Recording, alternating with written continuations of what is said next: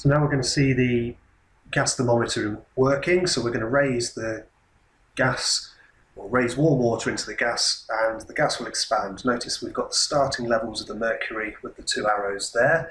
Then as the warm water heats the gas, the gas will expand, which will force the mercury down on the right hand side and up on the left hand side. But this will also increase the pressure as well as the increase in volume.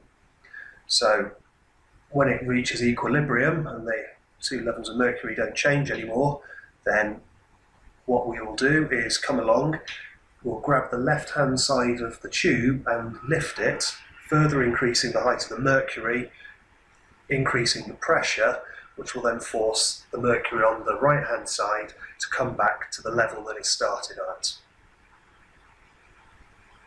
That's happening now. And when it gets to the level that it's starting at, we can see on the left hand side the height difference of the mercury and from that we can calculate new pressure that the gas is under at the same volume.